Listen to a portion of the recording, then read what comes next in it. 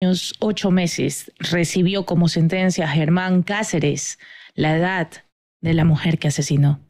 34 años y 8 meses que no responden las preguntas que quedaron en el aire sobre ese crimen cometido dentro de la Escuela Superior de Policía que tapó, encubrió y se sacó la vuelta de la responsabilidad de un femicidio cometido casi en la cara de decenas de agentes superiores y de bases.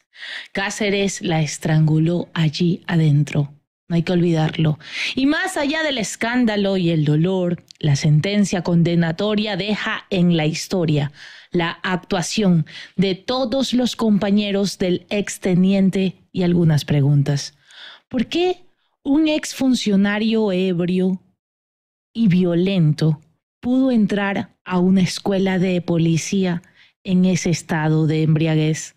¿Cómo es posible que una cadete se relacione sentimentalmente con un superior?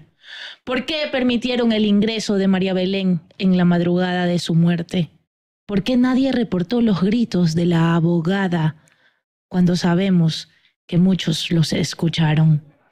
¿Por qué permitieron que Germán Cáceres abandonara la escuela sin revisar su automóvil y corroborar que allí llevaba el cuerpo de su esposa? sin vida.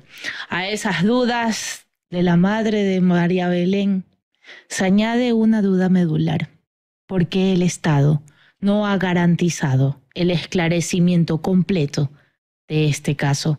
34 años y 8 meses, más un montón de responsables que no traerán a María Belén de vuelta, pero en cada una de sus conciencias quedará su asesinato.